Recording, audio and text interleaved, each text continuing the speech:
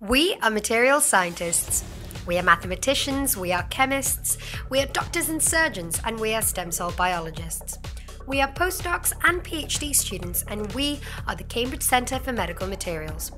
With our multidisciplinary background and a wide range of equipment on hand, we engineer biomedical devices and study biological tissues to try and understand the fascinating ways in which our bodies work and help it along when it doesn't quite work the way it should.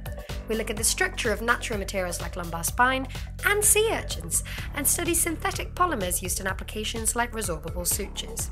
Primarily, however, we use collagen, a protein found in nearly all of our tissues, from the bone and the cartilage to the heart and the cornea.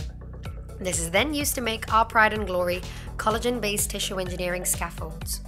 Making a scaffold is like baking, you just need to follow a recipe. First, we have to measure out the ingredients. We weigh out some collagen, add it to some acetic acid, or vinegar if you prefer to call it that, and let it swell overnight. Once it's all swollen, we take it out to blend it into a slurry.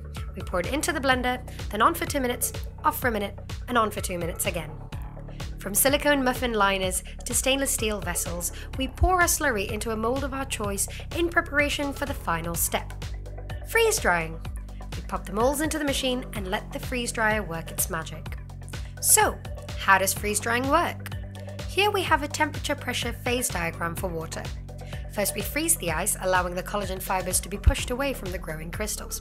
Then we drop the pressure and raise the temperature to sublime off the ice, allowing a porous, interconnected structure to remain that cells can move through.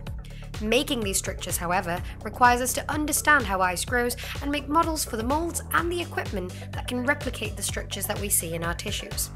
We then characterize our scaffold surface structure and roughness using techniques like atomic force microscopy, and we use microcomputer tomography to look at the internal structure of our scaffold, along with how open and connected the pathways in it will be for our cells.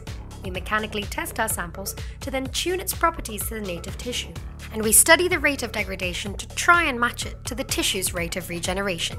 We are also home to the Bonfield Cell Culture Lab, where we undertake the biological characterization of our scaffolds, including how cells migrate through, attach to, and cluster on the scaffolds.